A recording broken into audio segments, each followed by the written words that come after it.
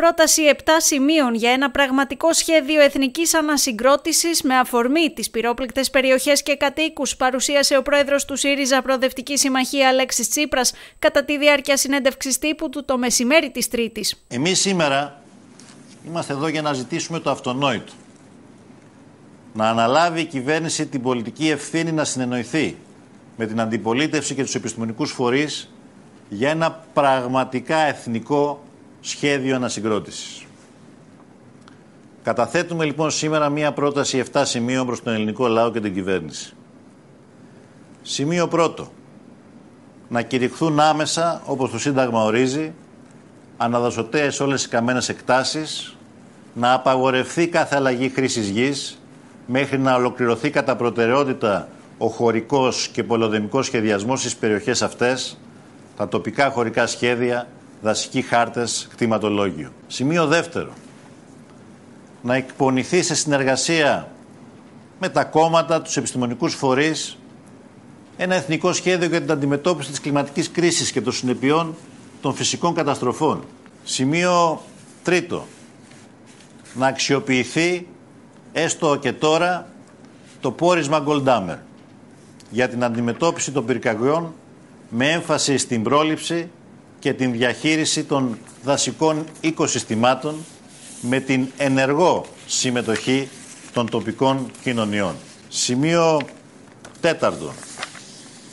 Να υιοθετηθεί η ολοκληρωμένη πρόταση νόμου που καταθέσαμε από το 2019 για την ίδρυση Εθνικής Αρχής Πολιτικής Προστασίας και Ανθεκτικότητας που θα τις τελεχώσουν πρόσωπα κοινής αποδοχής με συμφωνία των πολιτικών δυνάμεων να παραμείνουν τα ίδια ανεξαρτήτως κυβερνητικής αλλαγής. Σημείο πέμπτο.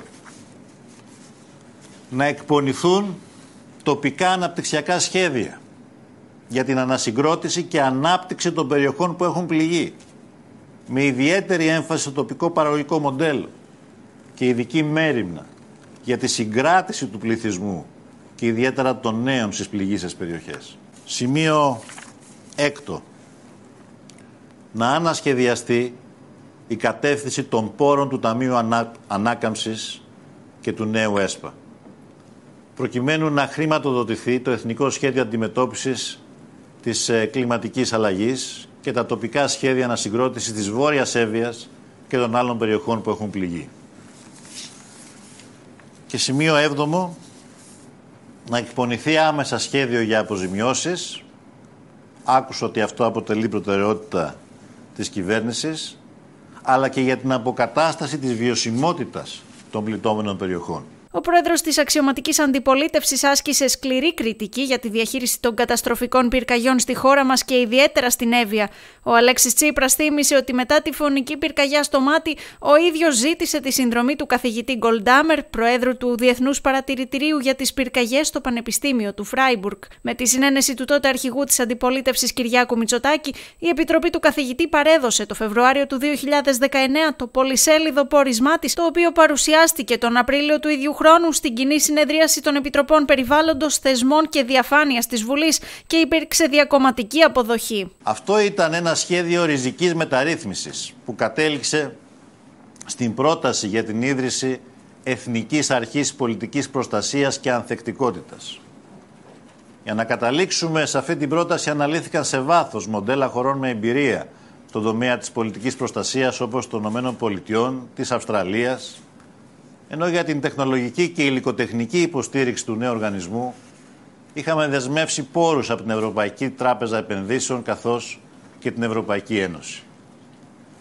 Οι εκλογές επισπεύστηκαν, η κυβέρνηση άλλαξε, το σχέδιο δυστυχώς ματαιώθηκε από τη νέα κυβέρνηση. Ωστόσο το Νοέμβρη του 19 καταθέσαμε στη Βουλή το πλήρες σχέδιο με τη μορφή πρότασης νόμου την οποία επίσης η κυβέρνηση της Νέας Δημοκρατίας αγνόησε. Όπως αγνόησε επιδεικτικά και το ίδιο το πόρισμα Goldhammer τα άφησε όλα αυτά τα χρήσιμα εργαλεία ανάλυσης και προετοιμασίας θαμμένα στο σιρτάρι.